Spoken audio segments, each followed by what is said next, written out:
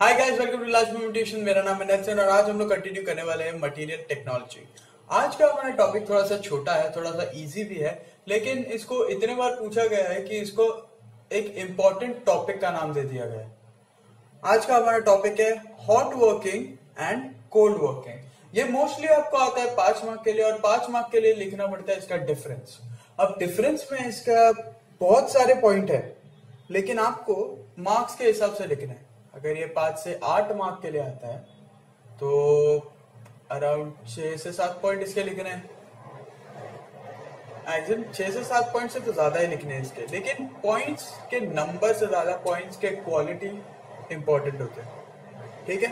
तो सबसे पहले हम लोग देखेंगे हॉट वर्किंग फिर हम लोग देखेंगे कोल्ड वर्किंग अब एक बात याद रखना, जिस पा, जिस टाइम या जब भी आप पढ़ने लोगे मटेरियल टेक्नोलॉजी हॉट वर्किंग और कोल्ड वर्किंग इसको कंपैरिजन में पढ़ना।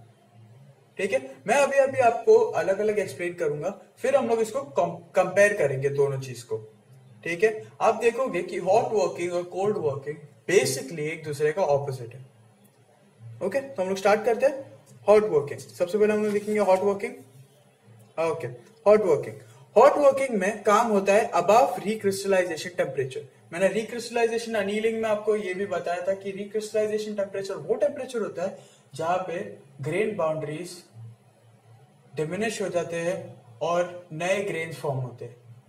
वो टेम्परेचर को मटेरियल के बोलते हैं रिक्रिस्टलाइजेशन टेम्परेचर फिर यहाँ पे लिखा है no changes in properties and microstructure इसका माइक्रोस्ट्रक्चर चेंज नहीं होता ओके okay? और ना ही इनके प्रॉपर्टीज़ चेंज होते हैं। उसके बाद है हमारा always after cold working hot working के लिए कोल्ड वर्किंग होना ज़रूरी है। ठीक है?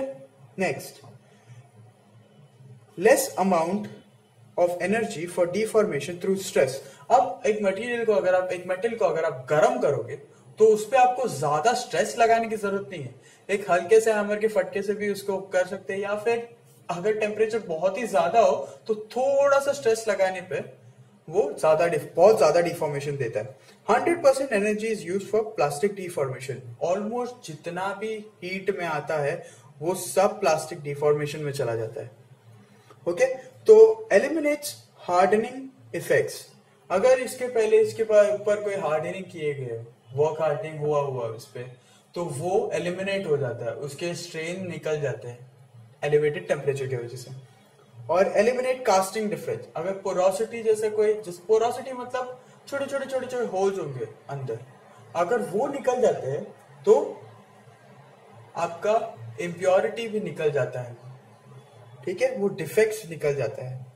Next improve ductility and toughness hot working आपको क्या देता है? Improve ductility and improve toughness उसका डक्टिलिटी बेटर हो जाता है, क्योंकि उसका रिक्रिस्टलाइजेशन टेम्परेचर के ऊपर होता है प्लस इसका टफनेस भी बढ़ जाता है।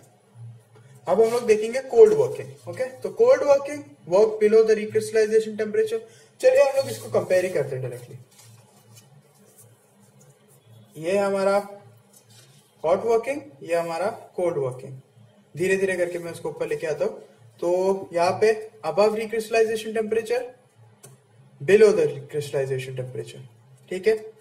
Annealing heat treatment is required इसमें आपको कोई हीट ट्रीटमेंट की ज़रूरत नहीं चाहिए खुद वो हीट से डील करता है। Next does not involve hot working process ठीक है?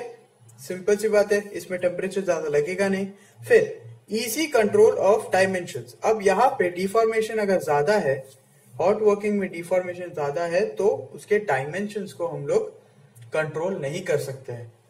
क्योंकि उसका रिक्रिस्टलाइजेशन के ऊपर चल, चला गया है वो और हम उसको अब डायमेंशन प्रॉपर टॉलरेंस के अंदर नहीं रख पाएँगे।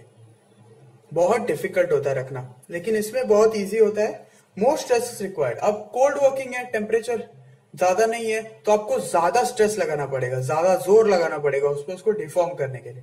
Okay higher amount of energy higher amount of energy is required यहाँ पे मैंने लिखा था less amount of energy same फिर कॉस्ट इज़ लेस अब इसको डायरेक्टली मेटल से हम लोग मेटल टू मेटल कांटेक्ट या ज़्यादा ज़्यादा stress without heat without heat हम लोग कोल्ड वर्किंग यूज़ करते हैं तो इसका कॉस्ट भी लेस होगा। वहाँ पे हम लोग को उसको, उसका हैंडलिंग भी ज़्यादा डिफ़िकल्ट हो जाता है हॉट वर्किंग में, क्योंकि गर्म चीज़ें हैंडल करना थोड़ा डिफ़िकल्ट है। अब next no oxidation of metal उसमें हम लोग हीट ट्रीटमेंट कर रहे हैं। हीट में ऑक्सीजन इन्वॉल्व होता है। तो वहाँ पे ऑक्सीजन का ऑक्सीडाइजेशन का चांसेस है। यहाँ पे ऑक्सीडाइजेशन का चांसेस बहुत कम है। आई होप आपको ये कोल्ड वर्किंग और हॉट वर्किंग का कंपैरिजन समझ में आया हो। अगर आपको अभी भी कोई डाउट्स है तो प्लीज़ उसको कमेंट सेक्शन में पूछना। अगर आपको ये वीडियो हेल्पफुल लगा तो प्लीज़ उसको लाइक करो चैनल को सब्सक्राइब करो और thanks for watching guys Música